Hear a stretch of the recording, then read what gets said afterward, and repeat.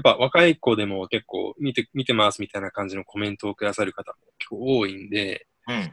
で、あの、ちょっと僕らとしてやっぱできることっていうのを考えたときに、うん。あの、彼らが、あの、あんまりこう、詳しくない、ちょっと、ちょっと一昔前のことうん。にいて、なんか語り継いでいくっていうのはやっぱこう必要なんじゃないかなみたいな。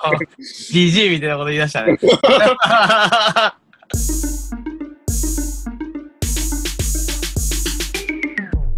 It was Squishy Boy S to the H O and you're now watching ヒップホップで学ぶ英語チャンネル。イエスエス様ゆきベイベイ !Yeah! はい。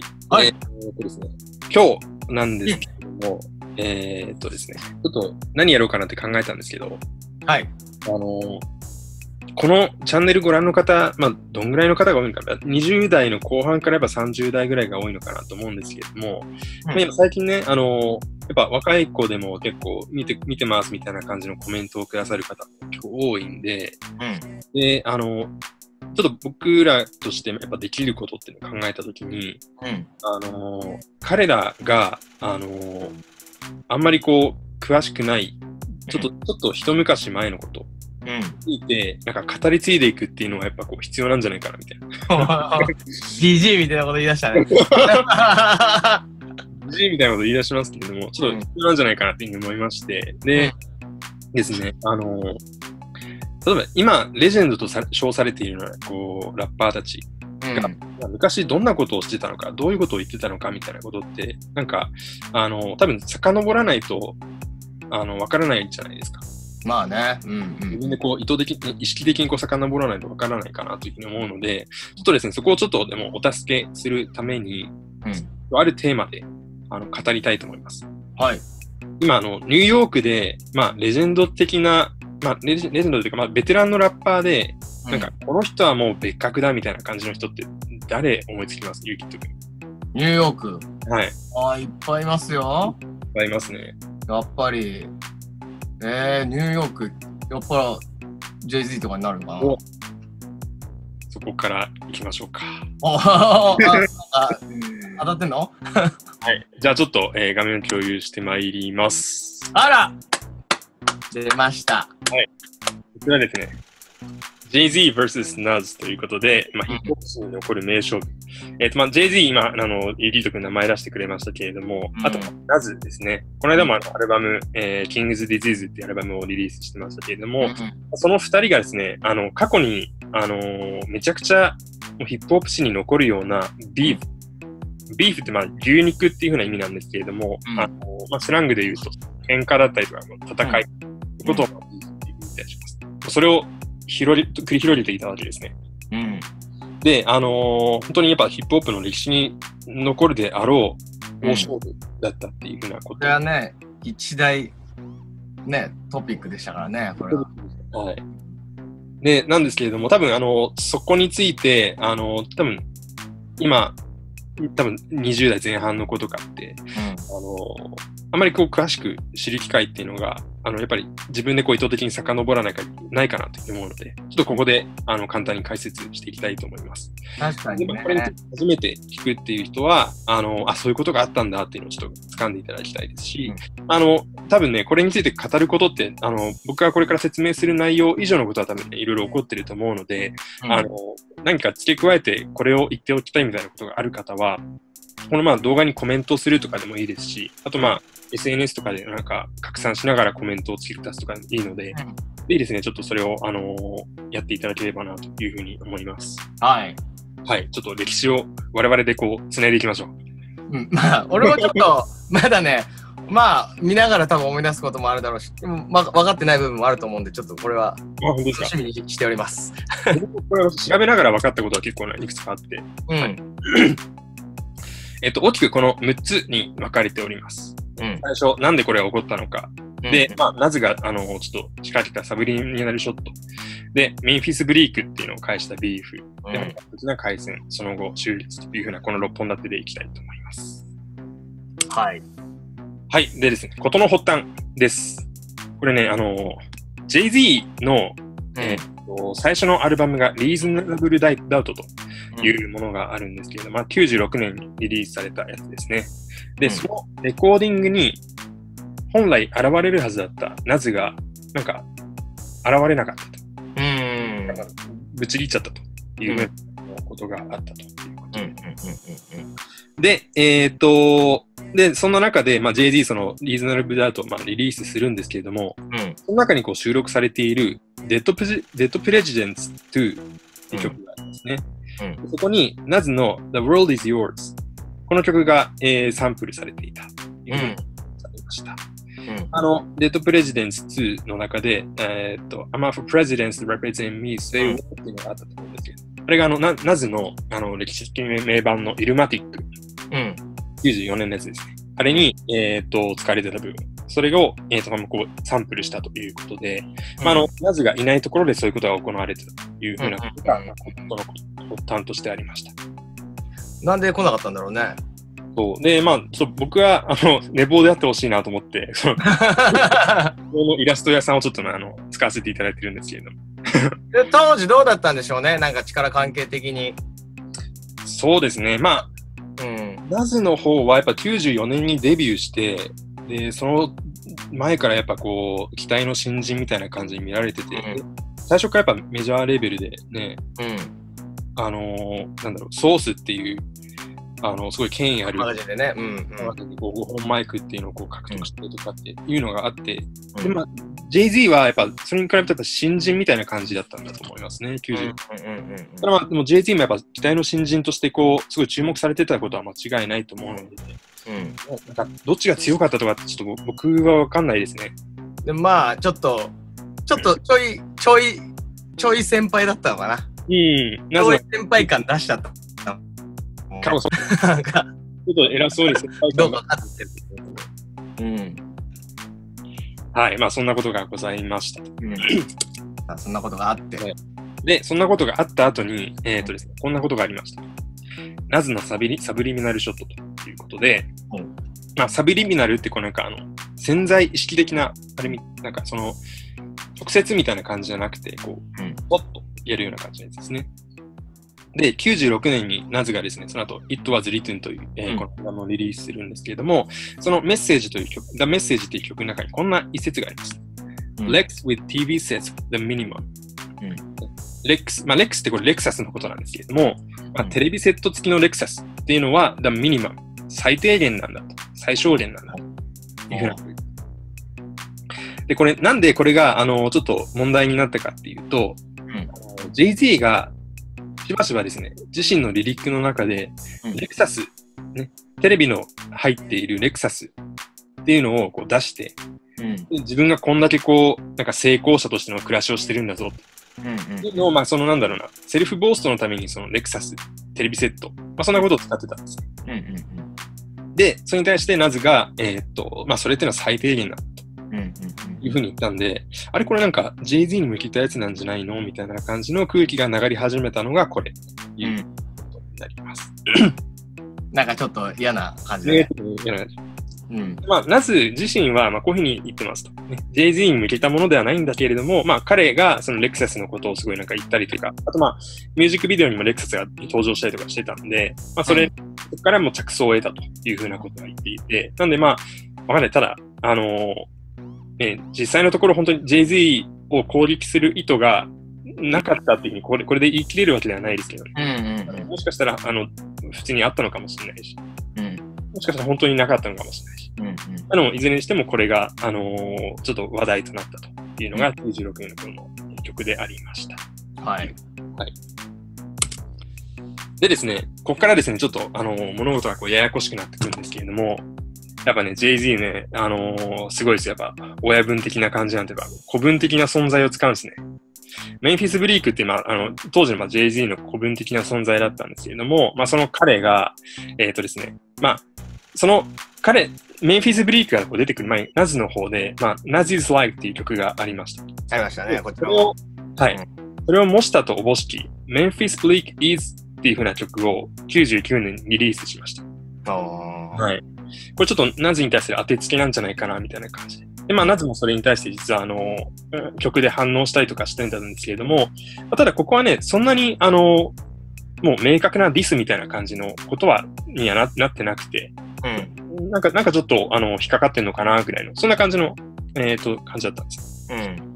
なんですけれども、翌年、2000年にですね、またメンフィス・ブリック、My Mind Right という曲をリリースして、うん。で、ここはね、もう、あの完全に、えっ、と、もうディスの、えっ、と、姿勢を明確に打ち出していて、うん。Lifestyles Written。お前のライフスタイルっていうのは書かれたものなんだと。ほうその、お前がリアルじゃないんだみたいな感じの、そんなことをう。うん。うん。ブリックがうん。言ったわけですよ。で、ナズはね、やっぱこれちょっと、あのさすがに反撃しましたと。うん。うん。後にあの、スティルマ、 Stillmatic っていう、えっ、と、アルバムをね、2001年にリリースしているんですけれども、まあその前に Stillmatic Freestyle っていうふうなものをこう出していまして、この中で、えっと、まあ、 Jay-Z のね、あのー H to the Izzo, V to the Izza っていうあの曲があるじゃないですか。 Izzo、Izzo ですね。いいね。をちょっとね、あの、もじって、うん。あの、H to the ISO, V, HOVA でホバーにななるやつなんですけれども、HOMO っていうふうに聞いたと。一応うんはいなんで、あの、まあ、これちょっとやっぱ時代がやっぱ違うかなっていうふうに思うのが、あの、今、結構、ヒップホップの世界もやっぱ同性愛とかその LGBTQ とか、やっぱ寛容になってきてるし、逆になんかこういうそういう同性愛差別的なことを言うっていうのは、むしろなんか反感を買うようなところが今あると思うんですけど、うん。やっぱ当時はね、あのーそういうなんかホモっていうふうに対するのが、すごい、あのー最大級のこう侮辱みたいな感じうん。ところがやっぱ2001年、2000年とかやっぱまだあったので、まあそんな感じでこう Jay-Z をこうホモ呼ばわりと。うん。で、あのーね、あの、言ってたわけですよ。なるほど。はい。これはちょっと、もう始まってますね。そう、もう穏やかじゃないでしょ。うん。これ、うんこれ、メ、メンフィス、悪、大丈夫？そうね。まあでもこの古文を使うあたりがやっぱね、こう Jay-Z、Jay-Z っぽいよね。俺、これ、メンフィスブリークがさ、もう自分でやっちゃってんだったら、メンフィスがあれだし、なんか、どうなんだろうね。まあね、自分でやったのかな。どうなんだろうね。なんだろうね。まあ、絶対 Jay-Z は知ってるはずだけどね。うん。うん。すごいね。はい。そんな感じ。はいさあ、どうなっていくんですか、これ。はい。でも、ここからも本格的に始まっていくわけですね。で、えーっとね、あのーまあ、2001年に Jay-Z も Naz も両方ともこう1枚ずつアルバムをリリースするんですけれども、まあ、そこにおいて、あの、ディスの応酬みたいな感じで、えー行われました。で、最初、2001年の9月、まあ、9月11日でしたね、これね、リリースされたの。えー、うん The Blueprint ということで、まあ、多分 Jay-Z のこれまでのアルバムの中でも結構傑作の部類にこう入るやつだと思うんですけれども、そのブループリントっていうアルバムがリリースされた中に、え2曲目だったかな、確か。Take Over っていう曲があります。うん。で、まあ、この中で Jay-Z こうなんて言ってたかっていうと、That's a one hot album every 10 year average というふうに言って、要は、えー10年ごとにうん。1枚のホットなアルバムをこう平均で出してるようなやつだというふうにナズのことをこう揶揄した。うん。うん。うん。で、まあ、そのナズって、まあ、皆さんご存知の通り、94年の、えっ、と、リリースのイルマティック。うん。まああれも、なんかもう孫とことなきクラシックとして、うんこのヒップホップの歴史に残ってると思うんですけれども、なかなかやっぱその、それを、と同じ、なんか並ぶだけの評価を得るアルバムっていうのは、なかなか出せずにいたわけですね。うーん。なるほどね。うん。まあ、いい曲あるけどね。うん。他他にもいろいろあるんですよ。If was, さっき出てきた It was written とかでも、やっぱりいい曲があるんですけれども、ただまあ、あの、アルバムとして、あの、同じだけのこう、評価を得るものがないっていうところを、うん。Z はちょっとこう、ギュッと刺して、うん。お前なんか10年に一度、なんかホットなアルバム出しやがってみたいな感じ。うん。うん。俺俺はもっとヒット量量産してるぞみたいな。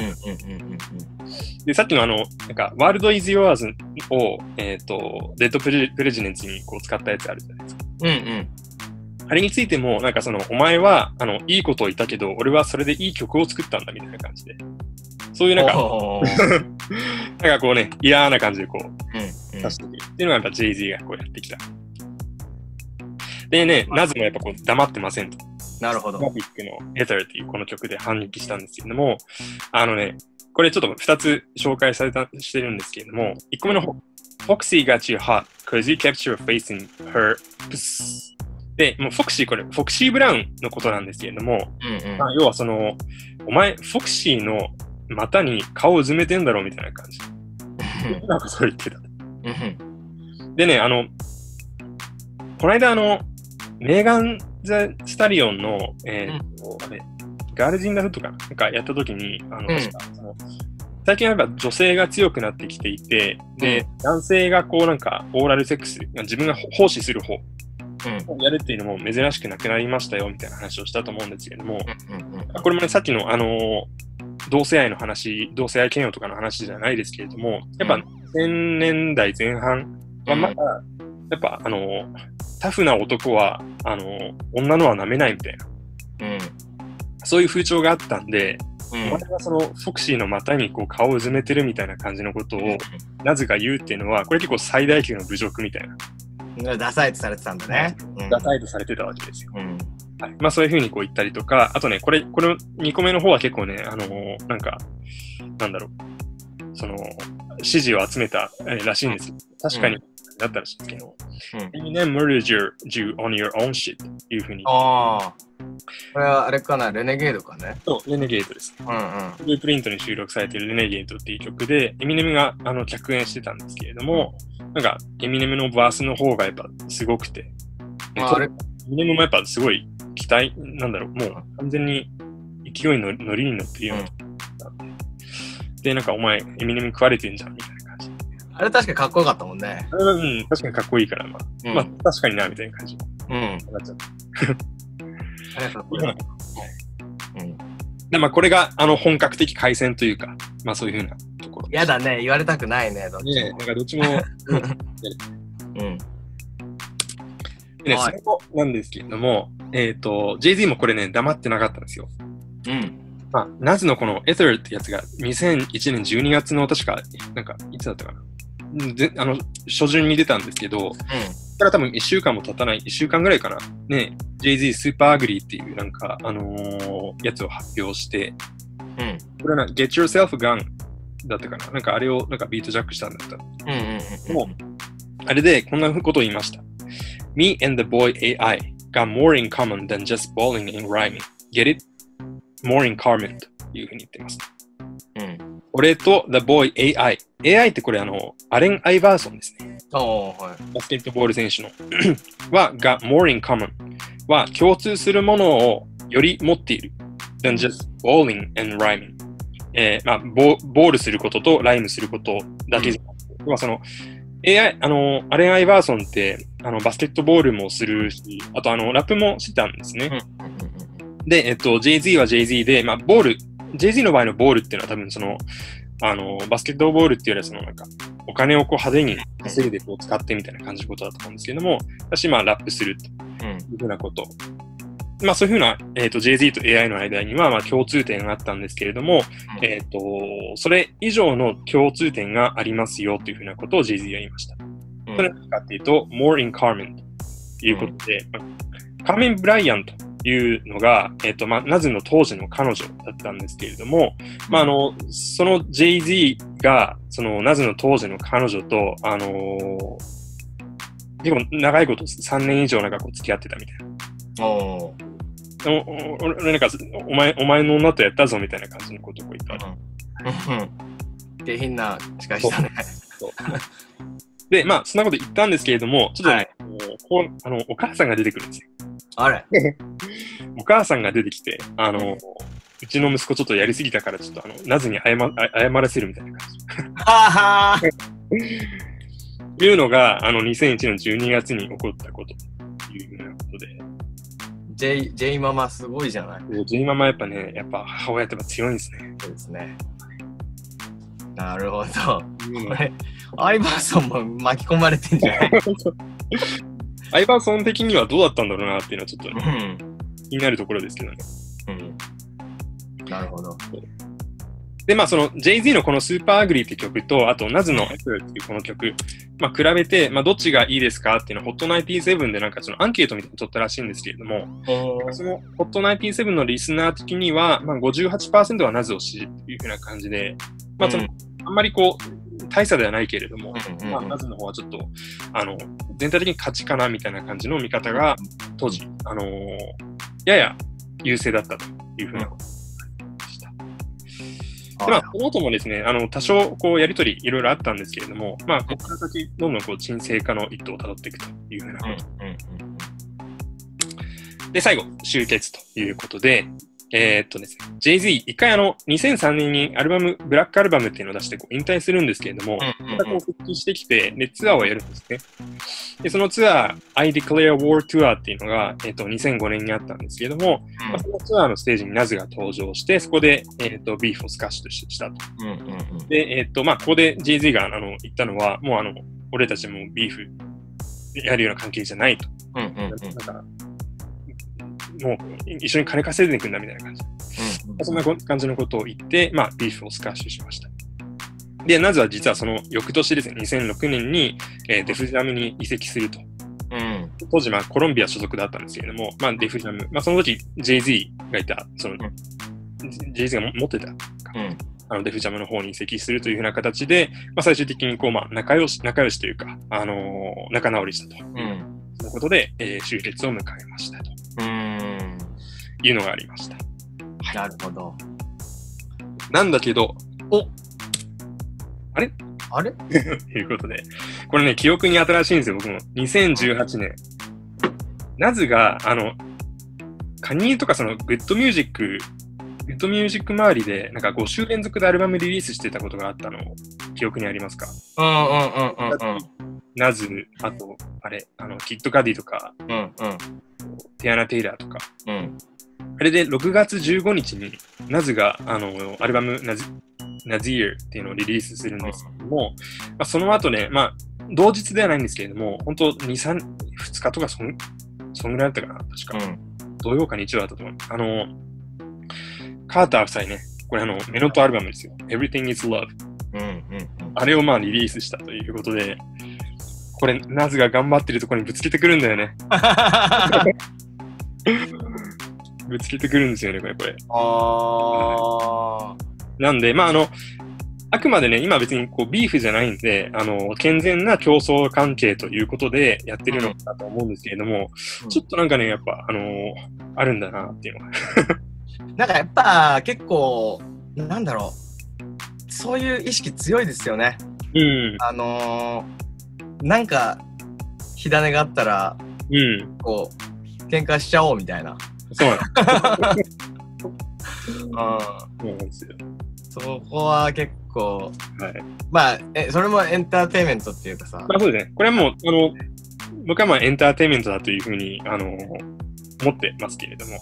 うん、まあでも、あの、ちょっとそういうのあるんだな、みたいな感じで。うん、まあ、あの、多分お多分終わったと思います。まあでも、ちょっとこの後なんかあったら、ちょっと、あ、そんなこともあったなと思い出していただければと。なんかでももう、もう一盛り上がりぐらいね、なんかおおじさん、おじさん同士の、みたいな。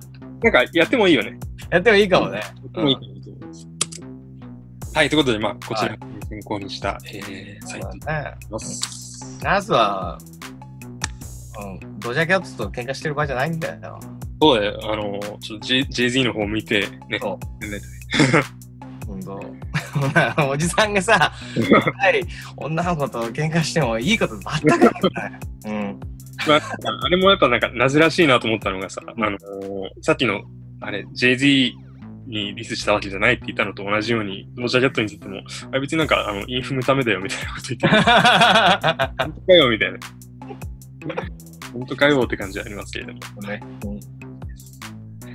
はい。はい。今回の内容に関連する、まあ、うん、あの、ちょっと2曲ぐらいですかね、あの、概要欄のところにこう載せていこうかなと思いますので、そちら皆さんぜひ、こっちからチェックしてみてください。はい、えー、皆さんぜひチャンネル登録と、あと通知ボタン忘れずに押しといてください。はい、今回なんかいいですね。歴史振り返るシリーズ。そうですね。うん、ちょっとまあ僕自身もあのメンフィス・ブリークのくだりとかあんまりこうよく知らなかったんで、あの、うん、確かに。調べながら勉強になったところもあるので、ちょっと扱ってほしい、うん、えー、テーマがある方はぜひまた教えてください。はい。はい。ということで、またお会いしましょう。はい。ありがとうございました。ピースに行きましょう。ピース